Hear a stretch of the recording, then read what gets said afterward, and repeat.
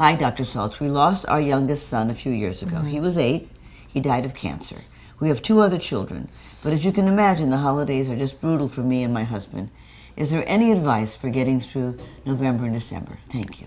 There are sort of special memorials, if you will, that you can pull in at holiday time to remember your eight year old and involve your family in that. In a way, it keeps you connected to them, it keeps them alive for your family. So maybe that's putting together sort of a new photo book of times of your child and, and of your child with your family. And you might have a little ceremony, if you will, to sort of have a remembrance of the holiday time with your child.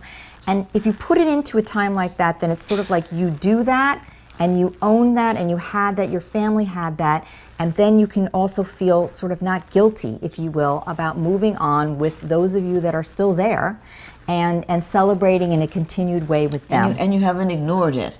You Absolutely. Haven't, you haven't tried to, to suppress it.